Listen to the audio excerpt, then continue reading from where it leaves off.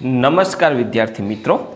મિત્રો, આજે આપણે આ વિડીયોની અંદર ધોરણ નવ, વિષય ઇંગ્લિશ સ્વઅધ્યયન પોથી, વિદ્યા પ્રવેશ અને બ્રિજ કોર્સની વાત કરવાના છીએ. તો ચાલો યાદ કરીએ ધોરણ નવ, વિષય ઇંગ્લિશ સ્વઅધ્યયન પોથી. પહેલી એક્ટિવિટી આપણને આપી છે. આ એક્ટિવિટી મિત્રો આપણે જે અલગ અલગ જગ્યાએ બેંકમાં, હોસ્પિટલમાં કે વિવિધ ઓફિસમાં આપણને કે પાસપોર્ટના કામ માટે આપણને જ્યારે ફોર્મ આપે છે, આ ફોર્મ્સ કેવી રીતના ભરવાનું હોય છે એ દર્શાવતી આપણને એક્ટિવિટી આપી છે. તો અહીં આપણે એનું ઉદાહરણ પણ આપ્યું છે આઈ એમ નયન તો આઈ એમ નયન છે, એમાં આઈ પછી એક બોક્સ ખાલી મૂકવાનું એમ સાથે લખવાનું એ એમ અલગ અલગ બોક્સમાં નયન આ રીતનું ઉદાહરણ મુજબ લખવાનું છે. I live in Surat. તો આઈ પછી બોક્સ ખાલી લીવ ઇન સુરત. આ રીતનું તમારે લખવાનું થાય છે. હવે આપણે અહીંયા જોઈએ. Fill in the details with capital letter only my family passport size photograph તો મિત્રો, પહેલાં તો તમારે અહીંયા પાસપોર્ટ સાઇઝનો ફોટોગ્રાફ લગાડવાનો છે.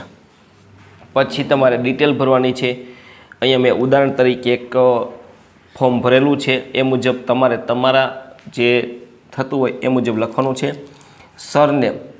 તો અહીંયા Kapadia K A P A D I Y તો મિત્રો તમારી જે સરનેમ હોય એ આ મુજબ લખવાની છે.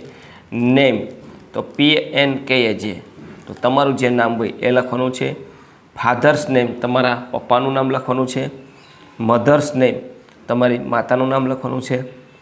બ્રધર્સ નેમ તો તમારા ભાઈનું નામ લખવાનું છે. સિસ્ટર નેમ તો તમારી બહેનનું નામ લખવાનું છે. સાતમું છે. ગ્રાન્ડ ફાધર્સ નેમ એટલે દાદાનું નામ લખવાનું છે. ગ્રાન્ડ મધર્સ નેમ એટલે દાદીનું નામ લખવાનું છે. નવમું છે અંકલ્સ નેમ એટલે કાકાનું નામ. અને દસમું છે આંટી, તો કાકીનું નામ લખવાનું છે.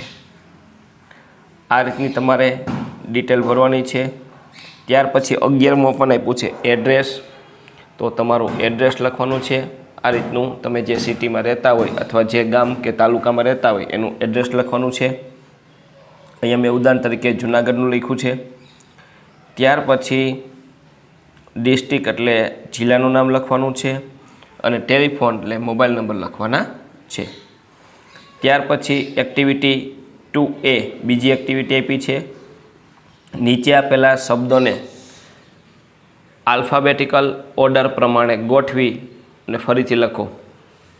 એટલે આલ્ફાબેટિકલ ઓર્ડર એટલે આપણે જે એબીસીડી પ્રમાણે ગોઠવવાના છે. હવે અહીંયા તમને એક પહેલું આપ્યું છે, એક ઉદાહરણ આપ્યું બોલ લાયન એપલ ને રેડ તો એપલ છે એબીસીડી પ્રમાણે જો તો એપલમાં એ પહેલાં આવશે બોલમાં બી પછી પછી લાયનનો એલ અને રેટનો આર તો આ મુજબ ગોઠવવાના છે. તો અહીંયા પહેલું વહેલું છે કાવ બ્લુ, ઓરેન્જ, આંટ અને ફ્રેન્ડ. તો આપણે આલ્ફાબેટિકલ ઓર્ડર એટલે એબીસીડી પ્રમાણે ગોઠવીએ એટલે પહેલાં આવશે એ આંટ. પછી બી આવશે બ્લુ. પછી આવશે સી કાવ પછી એફ ફ્રેન્ડ. પછી ઓરેન્જ, ઓ. તો આ રીતના તમારે આલ્ફાબેટિકલ ઓર્ડર્સ પ્રમાણે ગોઠવણ છે. હવે બ્રેડ નેસ્ટ પેન ટીચર અને બ્લેક હવે મિત્રો અહીંયા બે વખત બી છે બ્લેક અને બ્રેડ તો બંનેનો પહેલો લેટર બી છે, તો ત્યાર પછીનો સેકન્ડ લેટર જોવાનો છે. તો સેકન્ડ લેટર એલ અને પછી આવે છે આ બ્રેડમાં આર આવે છે બ્લેકમાં એલ આવે છે. તો એલ છે એ પહેલાં આવે, એટલે આપણે બ્લેક શબ્દ લખ્યો, પછી બ્રેડ નેસ્ટ પેન અને ટીચર. ત્યાર પછી પેન્સિલ, પીકોક, રેટ, અરાઉન્ડ અને બોલ. તો બોલ પેલાવ છે, પછી પેન્સિલ અને પીકોક. એમાં બંનેમાં પી છે. ત્યાર પછી સેકન્ડ અક્ષર પણ ઈ છે. તો પી ને ઈ બંનેમાં સરખા થયા. તો ત્રીજો અક્ષર જોવાનો છે. તો પીકોકમાં ત્રીજો અક્ષર એ આવે છે અને પેન્સિલમાં એન આવે છે. એટલે પીકોક છે. પહેલાં આવશે ને પછી પેન્સિલ આવશે. રેટ. અને રાઉન્ડ એમાં પણ એવું છે, આર સરખો છે, તો સેકન્ડ અક્ષર જોન છે, એ અને ઓ છે, તો એ પહેલાં છે એટલે રેટ પહેલાં અને રાઉન્ડ. ત્યાર પછી સન સન સ્માઇલ સ્લીપ અને સેટ તો સેટ સ્લીપ સ્માઇલ સન અને સન આ રીતનો ક્રમ થશે. ત્યાર પછી catch cat catch can cloud ને ક્લીમ તો એનો ક્રમ છે, એ મિત્રો પહેલો અક્ષર પાંચે પાંચ લેક્ટરમાં પહેલો અક્ષર સી છે, ત્યાર પછીનો સેકન્ડ અક્ષર જોવાનો છે. તો સેકન્ડ અક્ષર સી એ એ આવતા એવા ત્રણ શબ્દ છે, કેન, કેટ ને કેચ. તો ત્યાર પછીનો ત્રીજો લેટર જોવાનો છે, એન, ટી અને ટી. તો કેન, પછી કેટ, પછી કેચ, પછી ક્લિમ અને ક્લાઉડ. આ રીતનો ક્રમ થશે. ત્યાર પછી એક્ટિવિટી ટુ બી નીચે આપેલા શબ્દનું શુદ્ધ ઉચ્ચારણ સાથે વાંચો અને એક સરખા ઉચ્ચારણવાળા શબ્દને શોધીને આપેલી નોટબુકમાં લખો. તો મિત્રો, અહીંયા તમારે નોટબુકમાં લખવાના છે. દાખલા તરીકે મેં અહીંયા સિમ્બોલ કર્યા છે. બેટ, સેટ અને કેટ. આ ત્રણેય છે. એ રાઇમિંગ વર્ડ્સ છે. એના સરખા થાય. અહીંયા બેટ, સેટ અને કેટ. આનો રાઇમિંગ વર્ડ સરખો થાય છે. પછી મોલ, બોલ, રોલ અને ફોલ અને કોલ. આનો રાઇમિંગ વર્ડ સરખો થાય છે. ત્યાર પછી મેપ અને ટેપ. એમનો રાઇમિંગ વર્ડ સરખો થાય છે. રિંગ, સિંગ અને ડિંગ. આનો રાઇમિંગ વર્ડ છે એ સરખો થાય છે. પછી બોક્સ અને ઓક્સ. આનો રાઇમિંગ વર્ડ સરખો થાય છે. તો આ રીતના તમે સરખા રાઇમિંગ વર્ડવાળા શબ્દ ગોતીને તમારી નોટબુકમાં લખવાના છે. ત્યાર પછી activity two C find round the name of five musical instrument hidden in the grid તો અહીંયા કોષ્ટકને જે આપણને આપ્યું છે, એમાં તમારે પાંચ સંગીતના સાધનો સોરી પાંચ નહીં, પણ સંગીતના સાધનો ગોતીને લખવાના છે. તો અહીંયા હું તમને બતાવું. પહેલું છે guitar. G U I A G U I A T R guitar. પછી બીજું થશે આ piano. P I A N O piano. ત્રીજું છે આ tabla. T A B L A tabla. ચોથું છે ફ્લૂટ, એટલે કે વાંસળી, આ ફ્લૂટ. F L flute. અને પછી અહીંયા પણ આપ્યું છે આ વાયોલિન. આ રીતનું વાયોલિન. તો આ રીતના સંગીતના ઇન્સ્ટ્રુમેન્ટ થશે. ત્યાર પછી listen to the following words and repeat the aloud તો અહીંયા જે શબ્દ આપ્યા છે એ સરખા ઉચ્ચારવાળા છે અને તમારે એને વાંચવાના છે. બીઆઈટી એટલે બીટ બીએટી એટલે બીટ. સીઆઈટી એટલે સીટ એસીઆઈટી એટલે seat. Did did, hid hid, let let, get get. Met met, fed fed. Mad met, dead dead, head head, set set. તો આ રીતના જે સરખા ઉચ્ચારવાળા શબ્દો છે એ હતા. ત્યાર પછીની આપણને એક્ટિવિટી આપી છે ત્રણે. Read the paragraph and answer the following question ફકરો વાંચી અને નીચેના પ્રશ્નોના જવાબ લખવાના છે. તો જોઈએ does Sophine like dancing yes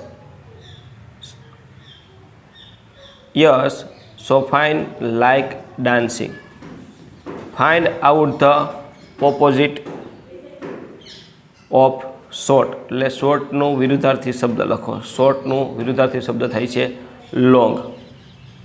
Sophine's ears are brown true and false true એનો જવાબ આવશે true Sophine can not play tennis Sophine can dance and swim what is Sophine is student how does Sophine looks Sophine look beautiful ત્યાર પછી, ત્યાર પછીની activity આપી છે. Read the wrapper and answer the question તો અહીંયા wrapper આપ્યું છે, એ વાંચી અને પ્રશ્નના જવાબ લખવાનું છે.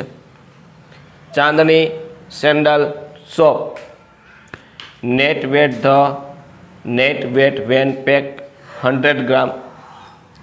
Max retail price packed manufacture અને એડ્રેસ આપ્યું છે.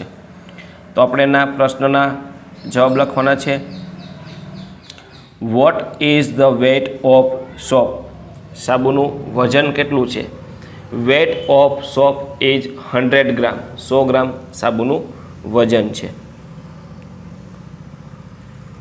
Where is rosary industry locate. Rosary industry ક્યાં આવેલી છે? તો અહીંયા લખ્યું છે, Sundarpur, Gujarat. Rosary industries locate. Rosary industry locate at Sundarpur, Gujarat. ત્યાર પછી, when was the soap packed. સાબુનું packing ક્યારે થયું છે? તો the soap packed in January twenty one. How much money will you pay to buy two soap? સાબુના બે piece ખરીદવા માટે આપણે કેટલા પૈસા ચૂકવવા પડશે? તો અહીંયા તમે જુઓ તો એક પેકેટના છે બારસો બાર પોઈન્ટ પંચોતેર એટલે આપણે એને ગુણ્યા બે કરશું એટલે પચીસ પોઈન્ટ પચાસ. તો how much money will you play to buy two soap will sell pay twenty five point fifty to rupees to buy two soap what is MRP of the shop what is name of shop તો twenty point seventy five rupees is the MRP of shop અને સાબુનું નામ શું હતું? Chandni sandal soap is the name of shop ત્યાર પછી activity four આપી છે. હવે મિત્રો અહીંયા તમારે read the pass paragraph read the passage careful and find out singular and plural sentence તો અહીંયા જે આપણને એક પેરેગ્રાફ આપ્યો છે વાંચી અને તમારે એક વચન અને બહુવચનવાળા વાક્ય શોધવાના છે. અહીંયા આ રીતના મેં પાઠ પડ્યા છે. એક બાજુ સિંગ્યુલર એટલે એક વચન પ્લુરલ એટલે બહુવચન લખ્યા છે. હવે અહીંયા આપણે ફકરો વાંચીએ, એમાંથી જોઈએ અને આપણે લખવાના છે વાક્ય there is big zoo in our city તો અહીંયા મિત્રો આ એક વચનવાળું વાક્ય છે. I visited at last Sunday my friends. આ છે મિત્રો બહુવચનવાળું વાક્ય છે. There are many kinds birds are animals તો આ પણ બહુવચનવાળું વાક્ય થાય છે. The lion or sitting quietly તો આ એક વચનવાળું વાક્ય છે. Some monkey were are jumping તો આ બહુવચનવાળું વાક્ય છે. The elephant was going around around a park in the zoo તો એક વચનવાળું વાક્ય છે સમ ચિલ્ડ્રન વેર એન્જોય તો આ બહુવચનવાળું વાક્ય છે ધ બર્ડ્સ વેર ચાર્પિંગ. તો આ પણ બહુવચનવાળું છે અ ટાઈગર વોઝ સ્લીપિંગ આ એક વચનવાળું વાક્ય છે. આ રીતના તમે એક વચન અને બહુવચનને છૂટા પાડીને લખી શકો છો. ત્યાર પછી આપણને એક્ટિવિટી ફોર બી આપી છે. Change the following singular words into plural and write in your notebook એક વચનવાળા જે શબ્દ છે ને આપણે ફેરવીને બહુવચનમાં લખવાના છે. તો અહીંયા મેં બાજુમાં લખ્યા છે બોયઝનું બોયઝ વચનું પાછળ ઈએસ લાગશે. કારણ કે જે અક્ષરના double S S H C H આવા અક્ષર હોય છેલ્લા બે અક્ષર. તો તમારે પાછળ ઈએસ લખવાનું છે. ફ્રેન્ડ્સ ગ્લાસમાં ડબલ એસ છે એટલે ઈએસ લાગશે. બોક્સમાં એક્સ છે એટલે ઈએસ લાગશે. પોટેટોઝ એમાં પાછળ ઓ છે એટલે ઈએસ લાગશે.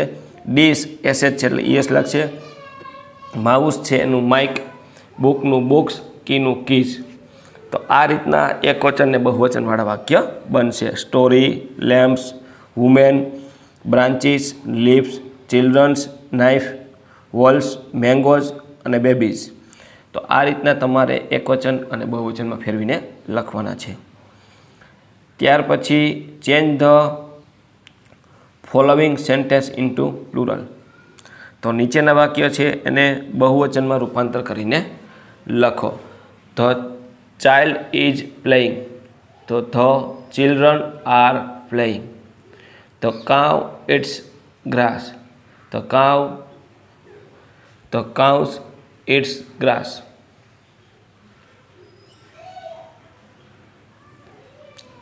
A lady was reading.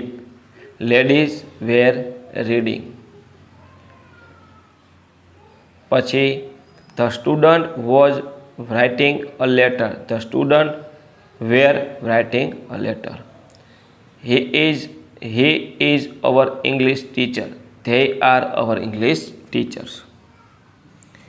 Activity પાંચે અ એન અને ધ આપીને જે આપણે શબ્દ આપ્યા છે એને ઉપયોગ કરીને બોક્સમાં ખાલી જગ્યા પૂરવાની છે.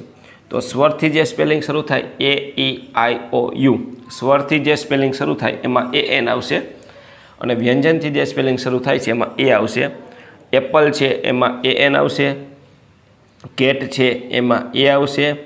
અર્થ અને આ રીતના જે આપણે નિશ્ચિત વસ્તુ છે, સૂર્ય, પૃથ્વી, ચંદ્ર, એમાં ધ આવશે. એટલે ધ અર્થ આઈસ્ક્રીમમાં એ એન આવશે, અમ્બ્રેલામાં એ એન આવશે, સૂર્ય છે એમાં ધ આવશે, એરોપ્લેનમાં એ એન આવશે, રોજમાં એ આવશે, કારમાં એ આવશે અને એલિફન્ટમાં એ એન આવશે. હવે પાંચમી બીઆઈપી છે આપણે પ્રવૃત્તિ. Fill in the blanks by using a an and the એટલે કે બ્રેકટમાં જે આપણે શબ્દ આપ્યા છે એ એન ધનો ઉપયોગ કરીને ખાલી જગ્યા પૂરવાની છે. This is an orange the orange is big german is an easy german uh, german is an easy language ત્રીજું છે the moon is the moon is in the sky ચોથું my brother live in an apartment in a city center પાંચમું I have a one year old daughter છઠ્ઠું my sister is an artist તો આ રીતના તમારે A N ઉપયોગ કરીને ખાલી જગ્યા પૂરવાની છે. ત્યાર પછી છઠ્ઠી એ એક્ટિવિટી આપી છે. Read the following question and select the answer from the option do you like cricket તો તમને ગમતું હોય તો યસ અથવા નોમાં જવાબ દેવાનો છે. Yes I do do you have a any sister yes I do have do you enjoy picnic no she doesn't do you play yesterday no I did not અથવા આઈ ડીડન્ટ પછી પાંચમો આવે છે do you help your mother yes they did તો મિત્રો, આ તો આપણું ધોરણ નવ, વિષય ઇંગ્લિશ વિદ્યા પ્રવેશ અને બ્રિજ કોર્સનું સોલ્યુશન. ચાલો યાદ કરીએનું તો મિત્રો, ચાલો યાદ કરીએના આપણે એકથી પેજ નંબર સાતનું સોલ્યુશન જોયું. બાકીના આગળના સોલ્યુશન છે એ આપણે વીડિયો બેમાં, એટલે ભાગ બેમાં આપણે જોવાના છીએ.